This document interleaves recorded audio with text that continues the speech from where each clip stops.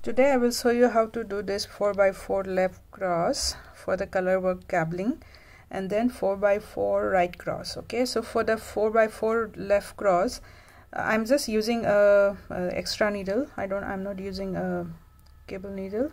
So you transfer the fir first four stitches onto a cable needle and hold in the front of the work.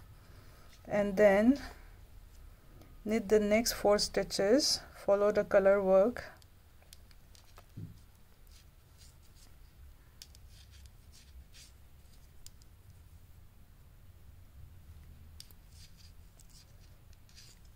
And now we will knit this four stitches from the cable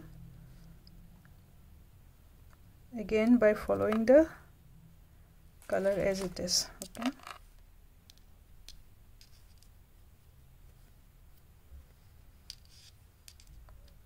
so this is 4 by 4 left cross.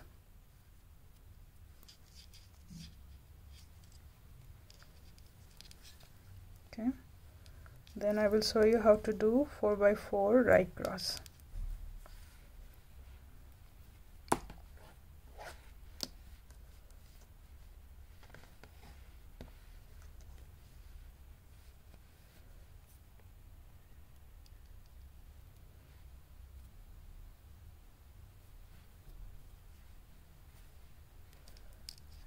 so for the 4 by 4 right cross we will transfer the first four stitches onto a cable needle.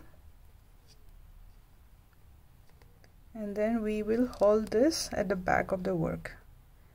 And now knit the next four stitches following the color work again. So I have blue so I will knit two blue. And then two white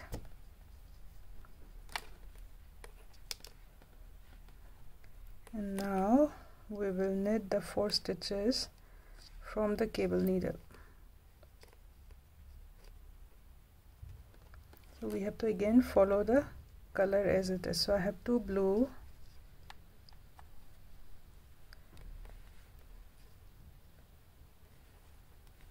and then two white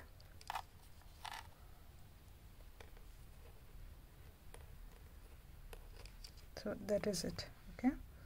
That is 4 by 4 right cross